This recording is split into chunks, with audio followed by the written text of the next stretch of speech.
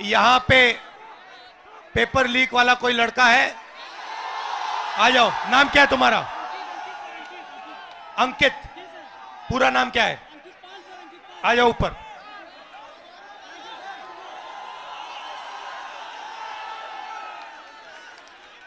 नमस्कार। Thank you sir कैसे हो? अच्छे हैं सर अच्छे है। आप कितने समय से कौन से पेपर की तैयारी की आपने? सर मैं यूपीपी की तैयारी कर रहा हूँ तीन साल से इलाहाबाद में हूँ। अच्छा। तीन साल से तैयारी कर रहा हूँ सर। और और आपका पेपर लीक हुआ? जी सर। कल मेरा सेकंड शिफ्ट में पेपर था सर। पूरे कॉलेज के हर बच्चों के मोबाइल में पेपर पहले से अलाउ है सर। सारे बच्चे बैठ के पेपर रट रहे हैं। सब के सब। और इसी तरह मेरे बड़े भाई सात साल से इलाहाबाद में संघर्ष कर रहे हैं। आर ओ का पेपर देने गए सर। कमीशन बोल रहा है नहीं है लेकिन सबके मोबाइल में वो पेपर था सर। सबके मोबाइल में पेपर था। तो तो नुकसान तो आपका हो रहा है। जी सर। और नुकसान इन सब युवाओं का हो रहा सर है। मेरे सभी भाइयों का हो रहा है नुकसान। फ़ायदा किसका हो रहा है? फ़ायदा सर सरकार का हो रहा है। सर पचास साठ हज़ार भर्ती निकाली है। डेढ़ डेढ़ सौ रूपए के हिसाब से लाखों करोड़ों रुपए वसूल के रख ली। और परीक्षा सर होम डिस्ट्रिक्ट में करके नकल का पूरा भरमार लगा दिया सर। सबने अपने अपने ज़िले में, अपने अपने कॉलेज में सेटिंग किया है और सब उसी सेटिंग में अपने जो है सर, नकल करा रहे हैं और नकल कर रहे हैं। और आपने आपने पढ़ाई में कितना समय दिया और कितना पैसा लगाया? सर मेरा अब तक पढ़ाई में मेरे माता पिता से लाखों रुपए खर्चे हो गए सर। मैं इलाहाबाद में आकर बीस हज़ार रुपए की दो बार कोचिंग कर चुका हूँ सर। कई बार सर मेरिट 130 क्वेश्चन में 110 करके आने पर भी न- नकल के भरोसे मेरिट इतनी हाई चली जाती है सर। हम लोग का जॉब नहीं हो पाता है सर। अब बताइए 130 में 110 क्वेश्चन करके आए फिर भी हम लोग का नहीं हो पा रहा है। आप कौन से वर्ग के हो? हम सर ओबीसी से आते हैं आप ओबीसी के हो? जी सर। अच्छा अब अच्छी तरह सुनो। देश में अब अच्छी तरह सुनो। देश में ओबीसी वर्ग कितना है? देश में सर ओबीसी वर्ग लगभग सर सत्तर साठ परसेंट है। दलित वर्ग कितना है? दलित वर्ग भी सर साठ परसेंट है लगभग। साठ परसेंट। जी सर। नहीं। ओबीसी वर्ग पचास परसेंट है। जी जी सर। दलित वर्ग पंद्रह परसेंट है। आदिवासी वर्ग आठ परसेंट है। कितना हुआ? सर पूरा हो गया तिहत्तर परसेंट सर। तिहत्तर परसेंट दलित आदिवासी पिछड़े। ठीक है? अब मज़े अब मज़े की बात सुनो। पाल जी पाल जी सच्चाई ये है कि आप पिछड़े वर्ग के हो। और इस देश में आप जैसे युवाओं का कोई भविष्य नहीं है। जी सर जी सर। ये ये सच्चाई है। मैं आंकड़े आपको दो तीन आंकड़े देना चाहता हूँ।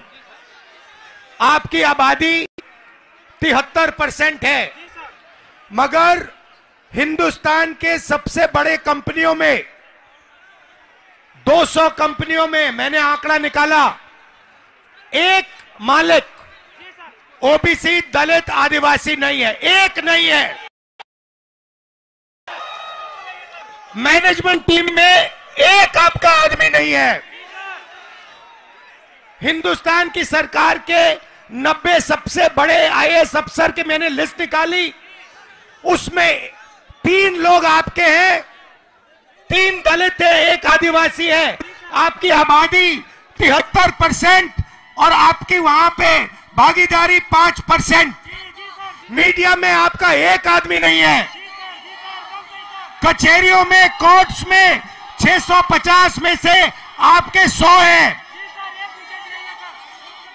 तो आप लोग देश को चलाते हो, आप अपना और आपका यहाँ कुछ नहीं है। आपको भड़काया जा रहा है, आपको अंधा किया जा रहा है। मैं आपसे पूछना चाहता हूँ, आपने राम मंदिर का फ़ंक्शन देखा? देखा? उसमें आपने एक ओबीसी चेहरा देखा? देखा? एक आदिवासी चेहरा देखा? नहीं। उसमें एक नहीं था। उसमें अमिताभ बच्चन थे, ऐश्वर्या राय थी, नरेंद्र मोदी थे। तिहत्तर परसेंट हिंदू राष्ट्र है, जिसमें तिहत्तर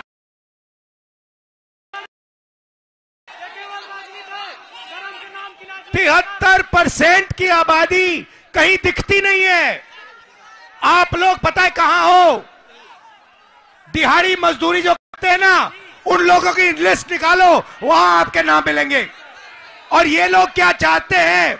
ये लोग चाहते हैं कि आप लोग कभी भी इस देश को कंट्रोल ना कर पाओ। ये देश आपका है, तिहत्तर परसेंट का है। और ये ये जो पेपर चोरी किया ना आपका, ये आपको रोकने का तरीका है। ये आपको ठगने का तरीका है। का है। अदानी जी की कौन सी जात है? ओबीसी अदानी दलित अदानी आदिवासी अदानी आप देखो, हिंदुस्तान के किसानों की लिस्ट निकालो। किसानों का ये कभी कर्जा माफ़ नहीं करते। और ये 10 10 15 उद्योगपतियों का इन्होंने 14 लाख करोड़ रुपया माफ़ किया है। आप पढ़ाई के लिए बैंक लोन जाके मांगो। हिंदुस्तान का ओबीसी दलित आदिवासी पढ़ाई के लिए बैंक लोन मांगे जूता मार के बाहर कर देंगे आपको। और अम, अंबानी अदानी लाखों करोड़ रुपए का बैंक लोन मांगते मांगते एक सेकंड में उनको दिया जाता है। तो इसीलिए हमने भारत जोड़ो यात्रा में न्याय शब्द डाल दिया है। यह आपके साथ जो हो रहा है आर ओ एर एग्ज़ाम के साथ जो हो रहा है, आपके जो पेपर लीक हो रहे हैं, ये अन्याय है, आपके खिलाफ अन्याय है।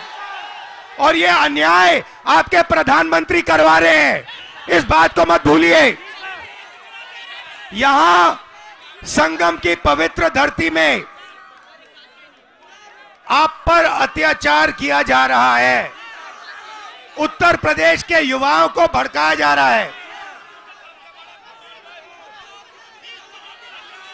हाँ?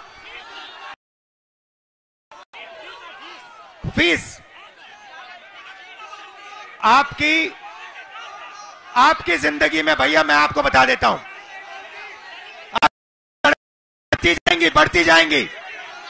अच्छा।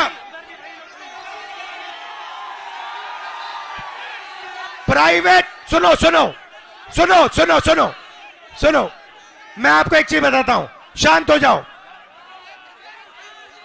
प्राइवेट कॉलेजेस और यूनिवर्सिटीज के मालिकों में ओबीसी दलित आदिवासी कितने? एक नहीं है। प्राइवेट अस्पतालों के मालिक में आदिवासी एक भी नहीं है। तो आप अपना टाइम कर रहे हो।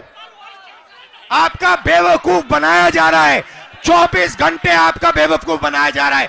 जग जाओ। जग जाओ। खड़े हो जाओ।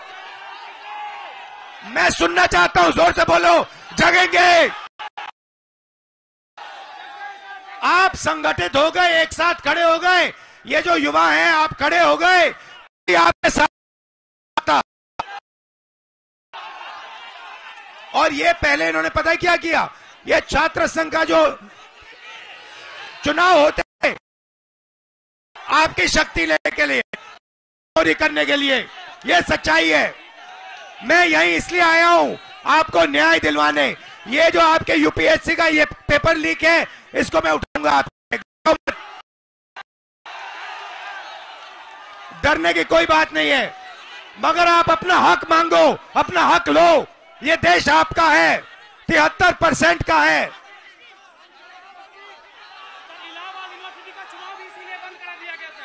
इलाहाबाद यूनिवर्सिटी का चुनाव भी इसीलिए बंद कराया गया, सर। एक भी vice chancellor, sir, vice chancellor कभी दलितों ओबीसीओ का नहीं सुनते हैं। वो हमेशा बड़ी जातियों का सुनते हैं, सर। कोई काम नहीं होता, सर। पढ़ाई टाइम से नहीं होती, विरोध करने पे डांट के निकाल दिया जाता है ऑफ़िस से, सर।